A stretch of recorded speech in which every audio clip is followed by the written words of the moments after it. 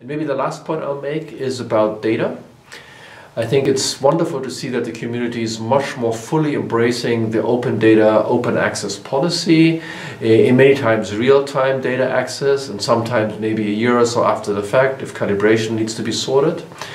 Uh, but not all of these data are in archives that talk to each other, so it's about the interoperability, complicated word. It's about having that data available not only in expert system, let's say like through the World Meteorological Organization or the IOC, but it's also having them available in open data, open science, cloud type uh, systems. So it's making sure that the data is really useful for scientists with high quality and authority, but they can also be used in real time, it's maybe lower quality but fast, or they can be used with more